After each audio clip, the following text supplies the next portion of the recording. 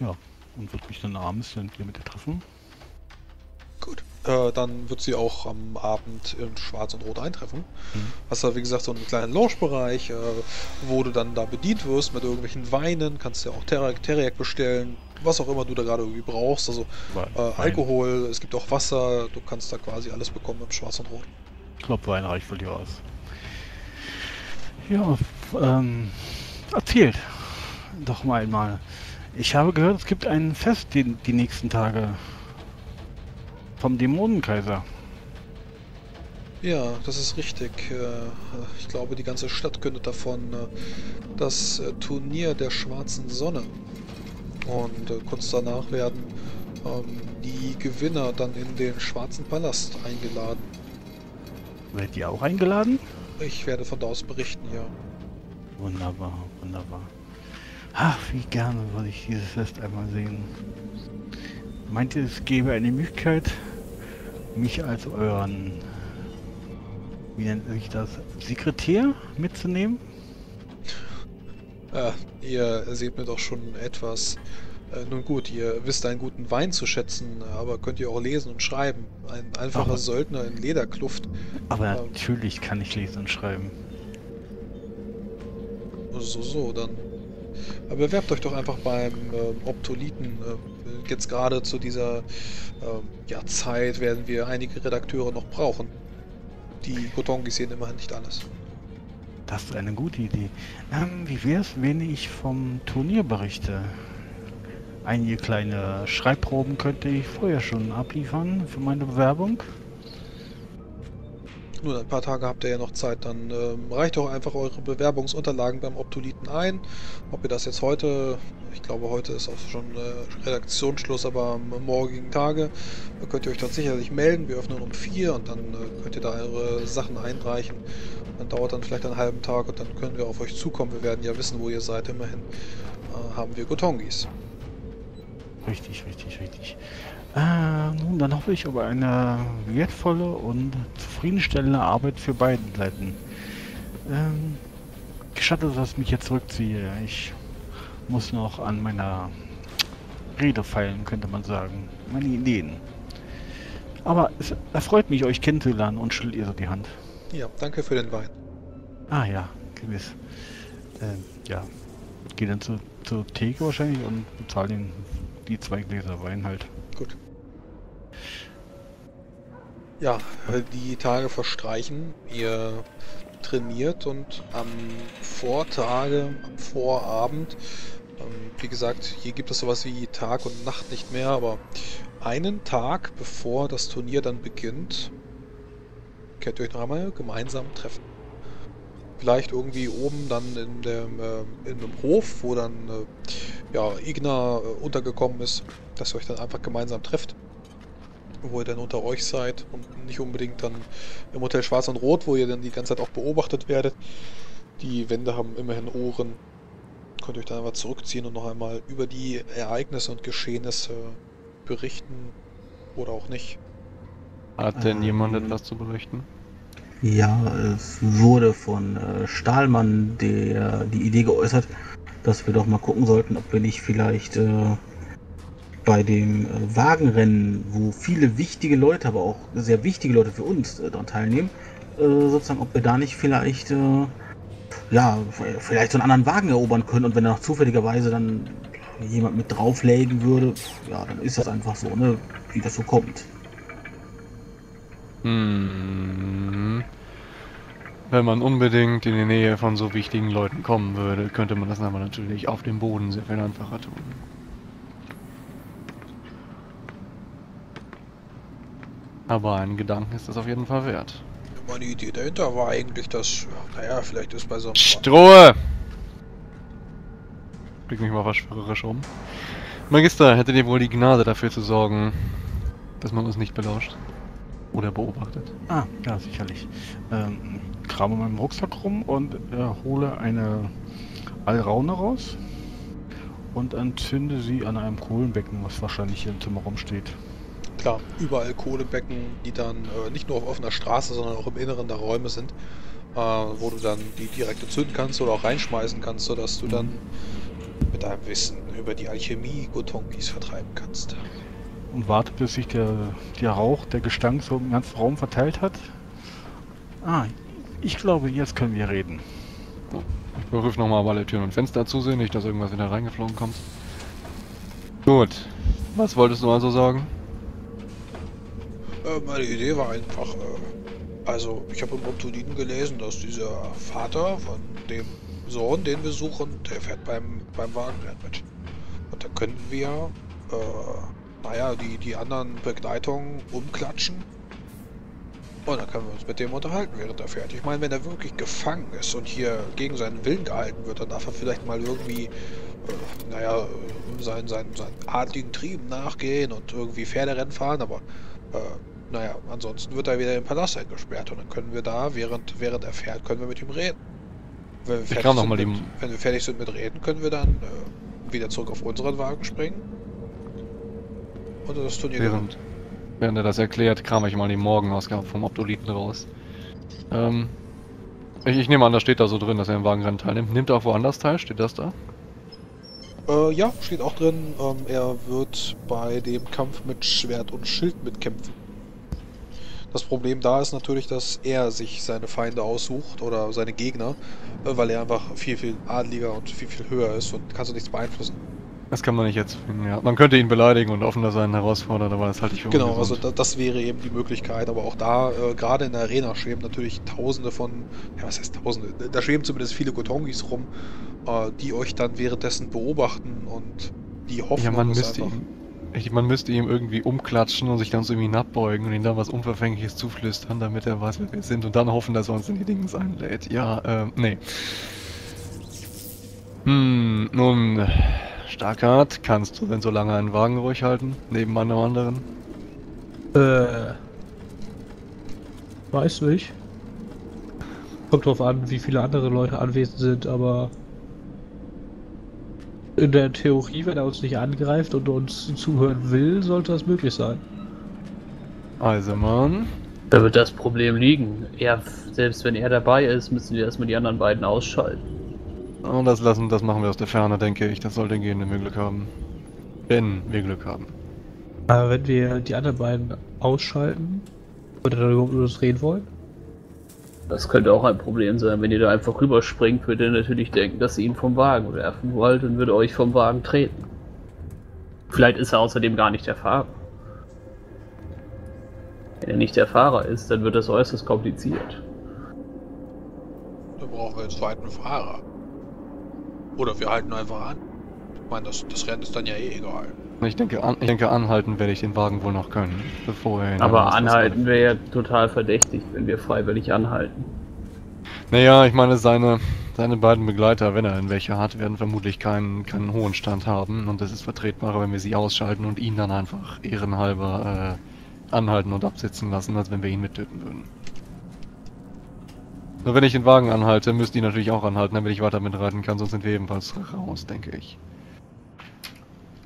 Du könntest auch versuchen, alleine dort rüber zu springen, das zu erklären und währenddessen lenken wir die anderen ab. Mhm, das könnte gehen. Ich nehme an, dass die Kutongis dort auch fliegen werden und wenn wir eine große Karambolage oder ähnliches produzieren, wird die Aufmerksamkeit auf uns liegen und solange redest du mit ihm. Ja. Nur müssten wir dann halt zuverlässigerweise diesen Wagen entern können. Ich. Wir, wir können es zumindest versuchen. Traust du dir denn zu, die anderen beiden darunter zu schießen? Das wird das kleinste Problem sein. Dann werden wir hoffentlich Zeit haben, wenn wir uns hinterhin setzen können. Nur müssen wir währenddessen gleichzeitig Sorge tragen, nicht selbst heruntergeschossen zu werden. Ein, ein weiteres Problem ist auf jeden Fall, wir wissen gar nicht, wo wir starten und wo sie starten. Wenn sie hinter uns starten, alles gut, aber wenn sie vor uns starten, müssen wir sie erstmal einholen. Dann ist Starkart hoffentlich ein sehr guter Fahrer. Ansonsten haben wir ein Problem. Das würde ich so Ähm, nicht äh, behaupten. Der erste, der erste Turniertag, also ihr werdet ja zwei Wagenrennen fahren, hat das sich hier für alles gemeldet, wird gehen, dann, ich deute das einfach mal mit dem Igna-Token an, über die Hauptstraßen einfach. Das heißt, ihr werdet Jolgumak selber nie verlassen, sondern einfach nur innerhalb der Stadt, was natürlich auch brutal gefährlich ist, wenn Häuser sich verschieben, ähm, sechs Kilometer oder sechs Meilen im Inneren der Stadt fahren. Auf den Hauptstraßen. Ziemlich einfach. Da gibt es ab und zu auch irgendwelche äh, Abbrüche, wo ihr dann über Säureseen fahrt, das hatte ich ja schon mal beschrieben, oder irgendwelche Lavaseen. Und gut, wenn man da dann irgendwie runterknallt gegen so einen Brückenpfosten oder die Brücke einstürzt, dann ist natürlich erstmal Not groß, aber zumindest verlasst ihr die Stadt nicht. Das ist gut. Hm, oder schlecht, wenn wir mehr unauffällige Zeit mit ihm haben wollen, aber größtenteils gut. Naja, sechs Kilometer zu Pferde, das wird ja ganz schön lange dauern. Man könnte natürlich einen Hinterhalt für ihn legen. Und dann von einem Dach oder so auf seinen Wagen aufspringen, weil das halte ich für mindestens genauso gefährlich.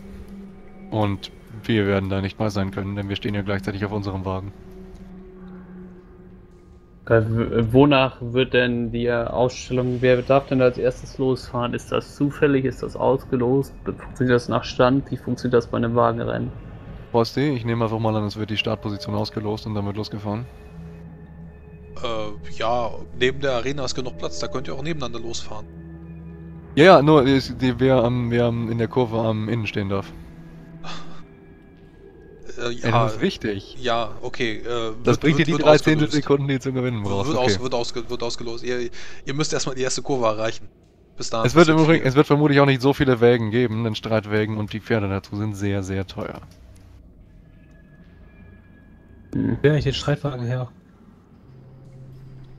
Das willst du nicht wissen. Da magst du vielleicht mal wirklich recht haben. Okay, wir versuchen. Du schießt sie da runter, springst darüber und danach versuchen Starkart und ich so viel Aufmerksamkeit wie möglich auf uns zu ziehen. Das sollte doch machbar sein. Hoffen wir es. Wenn es ansonsten, wenn es nicht funktioniert, können wir es beim zweiten Wagenrennen ja noch einmal versuchen. Wir müssen aber auf jeden Fall auf dieses komische Echsenfieder aufpassen, dass uns das nicht die Pferde frisst. Mhm. Äh, Rossi, das kommt jetzt mit Pferden, nicht mit Dämonen, oder? Äh, was meinst du? Der Wagen Die- steht ganz normal vor dir und da sind vier Pferde vorgespannt. Okay. Wie die gekommen sind, weißt du nicht. Ich, okay, ich gucke einfach mal, ob die mehr als vier Beine haben. Die haben vier Beine.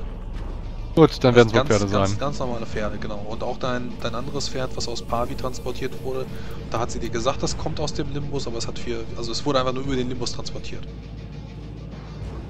Gut. Dann werden wir es beim Wagenrennen so versuchen. Und auf das Beste hoffen. Ich werde derweil mal gehen und mich an das neue Pferd gewöhnen. Und Mir einen Namen ausdenken. Wir werden unser Möglichstes tun. Alles liegt an dir, Starkart. Und ich klopfe dir mal auf die Schulter. Ja, ja, nur kein Stress, ne? Du bist doch ein ausgezeichneter Wagenfahrer. Ich weiß gar nicht, was du hast. Ja, man könnte mich fast gut nennen. Wenn nicht äh, mittelmäßig. Vielleicht auch schon schlecht. Wird reichen müssen. Ja. Ich hoffe einfach mal, dass wir alle vom äh, von ihrem Streitwagen runterhauen, bevor wir in die erste Kurve kommen. Um meine Fähigkeiten quasi zu messen. Wird, glaube ich, nicht einfach. Obwohl, vielleicht können die Herren Magier ja irgendwie behilfreich sein. Abel mir sieht zumindest ein bisschen betroppelt aus, während er da sitzt an dem Tisch. Hat er, wie gesagt, um die, sich um die Alraune bemüht, aber äh, er hat auch vielleicht auch ein bisschen erzählt, dass er sich einschleichen wollte über den Optoliten und er ist dann grandios. Ähm, einfach, äh, er war viel zu nervös, großer Fan. Sie stand auch noch hinter ihm, als er dann äh, den ersten Bericht noch äh, schreiben sollte in der Schreibstube. Leomedia direkt mit ihrer schreibenden Pferde hinter ihn und dann hat sich einfach verkrickelt und äh, nicht mal, nicht mal die ersten paar Sätze ordentlich hinbekommen. Haben sie gleich rausgeschmissen. Vielleicht eignet sich die Schreibweise von magischen Thesen ja nicht unbedingt für so ein Schutzblatt wie den. Ja, Wäre es, wenn ich euch bis morgen ein, zwei Sachen fertig schreibe, damit ihr sie voraus sein könnt? Hm, würdest du das tun? Natürlich. Aber Wenn ihr meine Schulden erlasst. ihr, se Wir sind doch Freunde. ihr seid ein Joker. Nein, ich bin gerecht. Das ist manchmal. Das bietet euch eine Dienstleistung an. Willst du dir wirklich so von einem unehrlich- Torwaler etwas vorschreiben lassen? Und so unehrlich sie auch sein wahrsten- mag. Im wahrsten Sinne des Wortes etwas vorschreiben lassen. Nein, das, ihr habt recht, das würde mein Stolz nicht zulassen. Du, Inga, bleibst während der ganzen Sache sowieso hier in der Taverne. Was das schon mal klar ist. Ich werde wohl einen anderen Weg finden müssen. Hm. Vielleicht ist zeigt, dass ihr eure komische Kluft aussieht. Nimmt man euch sowieso nicht ab, so hänflich sehr, wie ihr seid. Eure Ärmchen sind schon ein bisschen dünn, da hat er recht. Kampfmagier hin oder her. Es reicht für mein, meine Zwecke. Nun gut. Ähm, Könnte euch fast Bodenschlange nennen. Aber nur fast.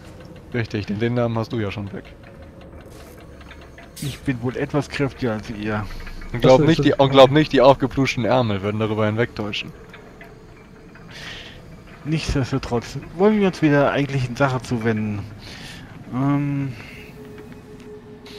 vielleicht könnte ich mich trotzdem als Schreiber ausgeben. Eines. Ihr braucht nur einen, der für euch schreibt. Also, oder jetzt hier, ihr müsst einen in der Stadt vielleicht suchen, der, keine Ahnung, vielleicht mal Schreiber war. Oder du nimmst einfach meine Hilfe an. Oder ihr nehmt einfach seine Hilfe an. Sagt Oder er, ich schreibe für ein Blatt, was hier nicht bekannt ist. Vielleicht in Jodomak. Ja, wie kommt ihr dann, wie kommt ihr dann sozusagen da rein? Starker ist wirklich ein exzellenter Fälscher, er hat uns auch in Boran reingebracht. Ich würde mich nicht Fälscher bezeichnen, ich würde mich als Künstler bezeichnen. Es war nichtsdestotrotz eine dreiste Fälschung.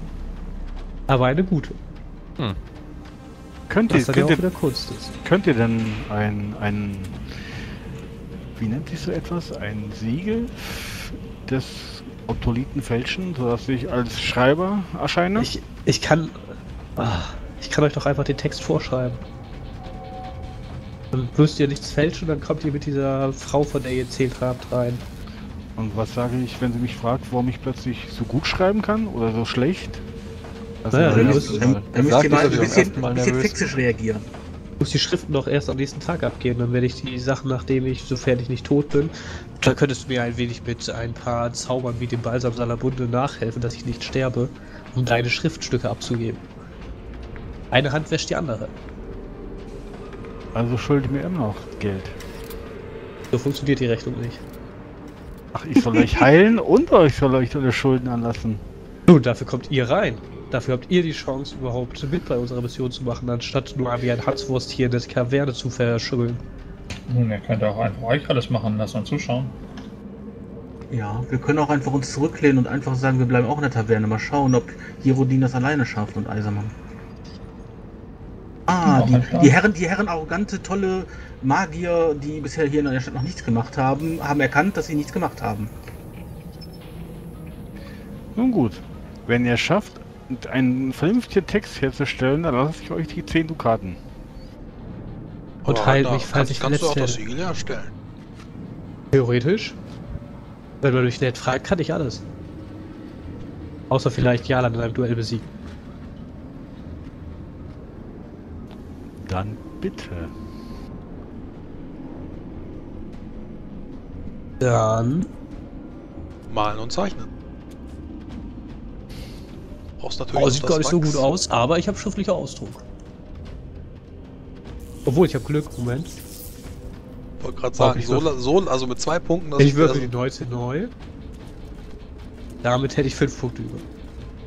Fünf Punkte. Und dann kommt mal ein Zeichnen, oder? Weiß nicht, ob danach nochmal ein Zeichen kommt. Also wenn, du ein sagst, Siegel, ich soll wenn du mal ein ein Siegel Zeichen- anfertigen willst, oder willst du Nee, nee, erstmal erstmal erstmal will ich nur diesen Text dafür Okay, ja, der, der, wenn Text, er- der Text ist kein Problem. Also wenn er dann noch ein gefälschtes Siegel haben will, kann ich das natürlich auch Das machen. sind dann, was sind das, sieben Punkte, ne? Ja, fünf. THW ist fünf. Ja.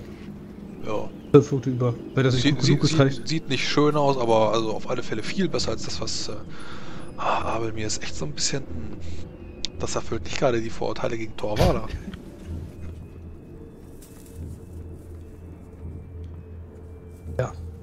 Und falls du noch ein Siegel haben willst, kann ich dir das auch noch vorbereiten. Das Und würde dann? allerdings ein wenig mehr Zeit dauern. Wie lange denkt ihr, wird wir brauchen? Ah, um ein vernünftiges Siegel, über dieses Siegel da, was auf der Zeitung abgebildet ist, ansehen und gucken. Und dann will er überall Daumen schätzen, wie lange ich brauchen würde, um das vernünftig zu fälschen. Ja, jetzt müssen wir in der Stadt wahrscheinlich Siegelwachs besorgen oder sowas in Ja. der Art. Da können doch die Magier drankommen, oder nicht? Also, Amene- äh, Amenelaos kann da zumindest ran. Geht er einfach in die, in die Akademie, wenn ich das richtig verstanden habe, und dann sagt er, ich würde ein paar, ich glaube, hier benutzt Kerzen, ne? und dann nimmt er eine Kerze und dann habt ihr Wachs. Ich fürchte, ganz so einfach in die Akademie hinein und wieder hinaus ist nichts. Habt ihr nicht Ich erzählt, dass vermute, wir euch dass- ausgesucht haben? Haben Selbstverständlich, aber ich vermute, dass man am Tor allein schon gegen mehrere Dämonen antreten muss, um äh, sich als würdig zu beweisen. Und wenn man einmal hineinkommt, ist es sehr fragwürdig, ob man wieder herauskommt. Und ihr seid doch Antimagier, dachte ich. Könnt ihr die Dämonen nicht Nein, ich einfach... war nie ein Antimagier. Was seid ihr denn für ein Magier? Kein Antimagier. Ein Drachenmagier. Ich dachte, alle Magier wären für euch Ja, Drachenmagier. Besessenheit von Drachen. Seid ihr in Drachen verliebt oder so? Wollt ihr die flachlegen? Ich äh, flüster mal immer ins Ohr, ein Jammermagier, glaube ich. Immer nickt bedeutungsschwanger darauf. Also gut, dann äh, legen wir uns jetzt alle ins Bett und dann holen wir uns aus und dann wird geschlafen. Morgen geht's los. Gut, Aricio, Menelaus, ihr tut, was ihr noch tun müsst. Und für den Rest wird morgen wohl gekämpft. Oder geschossen, je nachdem. Oder Wagen gelenkt. Ja. Ich habe volles Vertrauen zu dir, Starkart. Keine Sorge. Gibt es Gute hier nicht, ein, Ruhephase, die hohen Herren. gibt's hier nicht einen Laden, wo man Siegelwachs besorgen kann? Ich probier's mal Wer, wer, werdet ihr finden, vor allem eben auch äh, unten beim Agrimotheum, da könntet ihr sowas auch kaufen, Beschwörungskerzen. Und klar, wenn ihr euch Hashdots andrehen, dann könnt ihr da sicherlich auch Beschwörungskerzen in äh, perfekter Qualität finden. Nee, eigentlich muss Siegelwachs, eine bestimmte Art von Wachs ist halt ein bisschen Ja. dick ist, ja. Werdet, werdet Junge, es gibt an jeder Ecke drei Alchemisten. Natürlich kriegst du Siegelwachs. Dann. Möchte ich das jetzt auch noch fälschen? Ja. Also euch wurde auch, äh, während ihr dann hier die, die vier Tage genächtigt habt, euch wurde dann auch für einen Aufpreis mit gehörigem Aufschlag wurde euch angeboten, dass man euch euer eigenes Urin äh, mit einer alchemistischen Substanz aus Mengbilla ähm, säubert. Wurde euch angeboten. Dann müsst ihr keinen Schleim trinken. Wie teuer? Mm, Für einen Tag wollen sie auch nochmal äh, einen Silbertaler oder einen Zehntel Dukater haben. Für alle? Nee, Ja, nee für ein- pro, für- pro für Person, eine pro pro Person. Person für einen Tag, damit das eben reicht mit den Eisenbahn? Wie viele Tage waren das jetzt? Äh, vier. Du kannst auch Ja, dann, gleich die. ich, dann, dann, dann, zehn- dann, dann, dann hätte ich für einen äh, Dukat äh, für 10 Tage mitgenommen. Genau, okay, dann kannst du den Aufpreis kriegen. Ich muss dazu sagen, ich zahle jetzt mal mit Mittelreichsdukaten. Das ist okay, das ist ihm egal. Er nimmt das Geld. Eisenbahn. Dann, Ja, habe ich ich jetzt keinen, also dann habe ich die ganze Zeit keinen Schleim getrunken, außer dem ersten Tag einmal. Alles klar. Eisenbahn. Ja, ich kaufe das für mich und Starkart hier. Der muss ja groß und stark Ach sein. man, starke. Muss ich nicht eher äh, stark und klein werden? Hauptsache das ist mobil. Mehr will ich nicht. Sehr gut. Das ist natürlich schweineteuer für Wasser oder für euer eigenes Urin. Ja, das So könnte viel- man sich nie leisten, das lange zu bezahlen. Ich wollte gerade sagen, also das, das ist schon echt ein Wucher, aber wie gesagt, Wasser ist verboten und dann muss man eben auf solche Spielereien eingehen. Armenalaus hat den Advenum, aber Ja, ich würde mir zumindest eine Probe holen, damit ich es untersuchen kann. Einfach nur aus Interesse halber, aber ich benutze für Ab den Abwehrnenum für Essen und Trinken. Ja, wird halt trotzdem ölig schmecken. Wolltest du Das wird Odi-Frage nicht gut schmecken, aber es wird nicht ungesund sein, so wie das von den anderen. wolltest du Odi-Frage, soll ich dir jetzt eine Fälschung erstellen oder Ja. nicht? Ja. Alles klar. Gut, dann malen und zeichnen. Bei Ähm, Fälscher, das war äh, Abvenenum hilft nicht gegen göttliche oder erzdämonische Sachen, ne? Es reinigt äh, zum Beispiel Salzwasser zu einem Trinkwasser. Die Sache ist, der mal- Abvenenum wird erschwert um den Grad der Verunreinigung. Das heißt, du Plus fünf. locker eine sehr hohe Erschwernis geben. Also Äh, also jetzt hier allein, alleine plus 12 kann es schon sein, wenn es stark genug verfault ist, ohne dämonisches Einwirken. Ja, ich gebe dir eine plus 12. Also, wenn du jetzt täglich das Wasser und auch das Essen aufreinigen willst, wir sind in Jolgurmak. Und das ist Schwarzkorngetreide, das war von vornherein, das ist von Agrimots verderbter äh, Erde ist es gewachsen. Äh, das hat den Lebtag nichts anderes gesehen als äh, Agrimotsche Erde, Humus. Das ist eine plus 12. Gut, jetzt muss er den Zauber auf 12 haben, ansonsten schadet er automatisch. er kann ja Zeit. Ach nein, ist ja keine spontane Modifikation, er kann ja auch auf Negativproben, du hast recht. Entschuldigung, ist keine Sprung. mit, mit negativen Attributen. Ja, er kann ja auch doppelte machen, Zauber dauern so. Mir versuche. Genau, da ist jetzt der Magier gefragt, inwiefern er da spomotzt.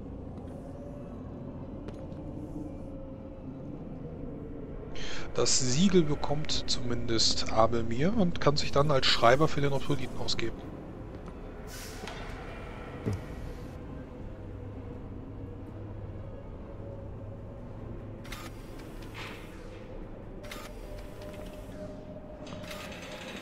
Ja, gut, aus der Entfernung. Schön, dass du die Regel nochmal dazu geschrieben hast.